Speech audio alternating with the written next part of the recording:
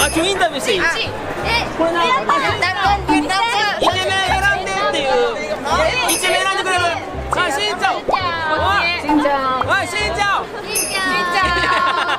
えちょっと一個持って一個持って。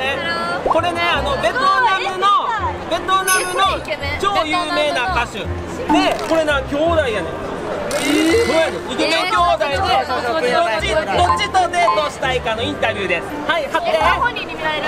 見る見てくれる。えじゃあやっぱ本人何分何分お四つ。写真撮ろう写真うわすごい。あちょっと待って。なんでこっちの方がかっこいい？エラエラと眉毛エラと眉毛目目目目鼻目目目鼻口目鼻これもかっこいいこれもかっこいいこれも両方かっこいい結婚したい結婚したいもう大金も浮気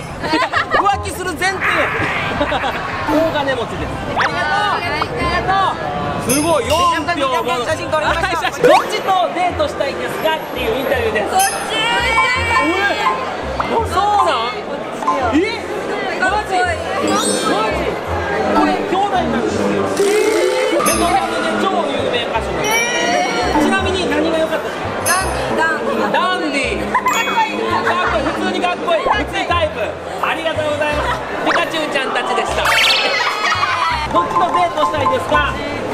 えマジで。全員こっちやほんまに？やばい。スカイに怒られる。俺絶対。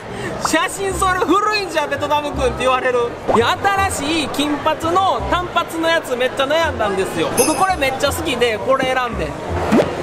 怖い。スカイ。スカイが怖い。あの僕のスカイです。どんどん聞いていきましょう。マジ。マジで？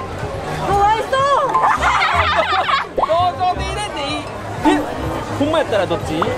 マジ？え、わからん、こっちかもしれん。こっち何かっこいい。かっこいいですよね。パッと見たらこっちかもしれん。ああ。りがとう。せーのお。お二人ともモノさん。なんで？イケメン。やからタイプですか？あほんま。実はね兄弟なんです。お兄ちゃん弟。ありがとう。かわいい天使ちゃんたちでした。せーの。今見てどっちやろおトントンさん2票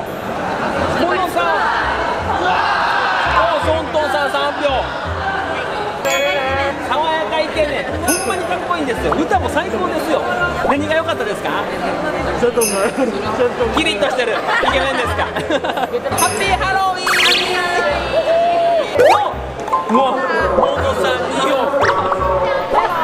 スカイスカイ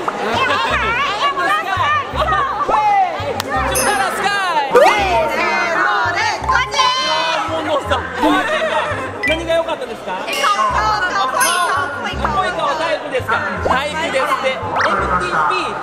で調べてみてありがとうさあベトナムの超人気歌手です。どっちとデートしたいですか？みんなモノさんマジかわいそうやからこっちでこっちこっち人気歌手の兄弟なんですよすごいでしょ。似てない。眉毛だけ似てる。こっちエロいよかったまた聞いてみてくださいクワイクリップサムライ！なんとほとんどの糸物さんに入りました。びっくりしました。えベトナム人の中ではどんな感じなんですか？僕分かれへんわ。もうずっともうソントさん好きすぎて。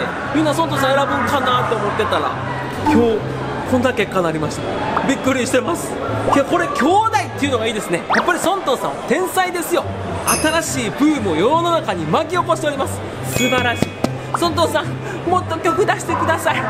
僕はずっと待ってます。ソントンさんの曲大好きです。はいというわけで今日のビデオはここまででございます。ありがとうございました。